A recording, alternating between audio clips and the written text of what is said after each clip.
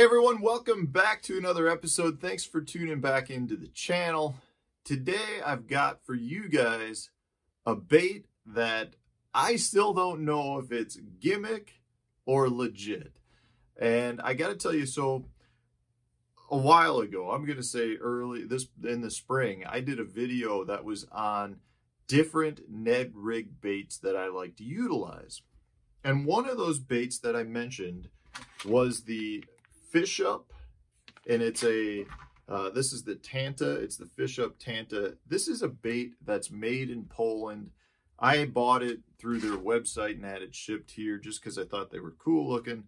And, it, you know, it's a neat looking little Ned rig type bait, a ring body, real active little tail. You know, the tail is always moving on this thing. It's like, is it's, it's just a really good bait. I've done really well on it. I've caught a lot of fish on it.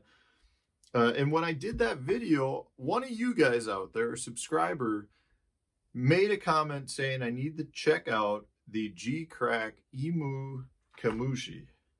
And I went on Tackle Warehouse, they had it, and I saw it and I was like, I gotta buy one of those. So I bought a couple packs, and here it is, guys. This is it. And you guys know I've talked about in the past how I actually like to thread some uh, materials through my baits, whether it's marabou hair, skirt material, tinsel, whatever it is. Now, I I can't say I've ever done it like this. You know, this is kind of over the top in my opinion. But when I was on Tackle Warehouse and I saw that this bait had a very similar style to the Fish Up Tanta, as you can see. I mean, it's a thick body with a, a little tail coming off of it. I was like, man, you know what? It's a Tanta with material pulled through it, which is something I'm already doing. I got to try it. So I bought a couple packs of them. Here's one of the packs. As you can see, Emu Kamushi. I'm not even sure if I'm saying that right. And I got to tell you guys, I'm very mixed on this uh, for a couple of reasons. One, because in the water, it's a very bulky bait. You know, it looks almost like a dust cloud when it's sitting there. There's just a lot of tentacles, a lot of motion. Almost in a way, looks like you're you're pulling in a you know a swim jig when you're reeling it back to the boat because there's a lot of skirt material there. You know, I've got a couple other that are uh, like a, a, lighter color. They're kind of more like a um, like a smoke color, I guess I'd say. So it looks kind of like a bait fish coming through the water, but it's just a very unique bait. Now it it is extremely heavy, cast great, but I gotta tell you, I am mixed on it because the couple of times I've used it, now I've given really pretty pretty good time to this bait in an area where I was catching them really good on a max scent little general. So I was throwing a Ned rig, I was catching them good, and I'm like, I'm gonna switch and try this Emu Kamushi and I did not have the success I wanted. But I've caught three fish on this thing. All three were over four pounds. Two smallmouth and one largemouth. And the largemouth, I almost feel like it was a fluke because I've never caught a largemouth in that spot before because it's a smallmouth spot.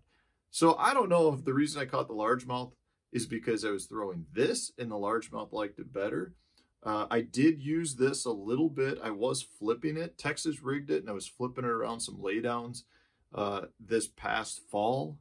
Didn't have any bites doing it, but it wasn't really ideal conditions. So I'm confused, guys. I don't know if I want to give it much more time or not. I want you guys to let me know if you think, if you've had any experience with this, is it worth the time? Because right now, if I'm throwing a Ned rig, I'm throwing the Little General is definitely a favorite of mine. The Z-Man TRD, the original one, is good. I like the Roboworm Worm. I like the Fish Up. I don't know if I like this or not. I think it could be a very good big fish bait. I don't know that it's like a numbers bait or a search bait. And that's where I want you guys to help me out. If you've had any experience at all with this, let me know what your thoughts are. Let the others, the other viewers know, know as well. Is it worth spending the money at Tackle Warehouse on this crazy contraption?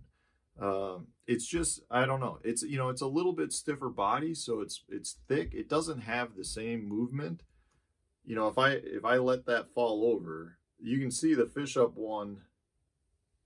I mean, the fish up one is just so much more limber. I mean, literally, I'm not doing anything to move it, and you can see it popping around. This it's just a thick piece of plastic. I don't I don't know, guys. I don't know. I right now I'm leaning towards putting it on the wall and not using it much anymore. Uh, or potentially just pulling out the or some half of the tentacles. Like I, I kind of think it would look better if you remove the bottom tentacles and then just had the top ones. I think that could potentially look a little bit more natural. You know, as it's standing up on the bottom, you'd have just these top whiskers coming out versus the entire, you know, the entire creature bait look. Anyways, guys, if you've had any experience with this, let me know. I'd like to know what your thoughts are on as well. Should I keep forcing the issue with this or should I hang it up?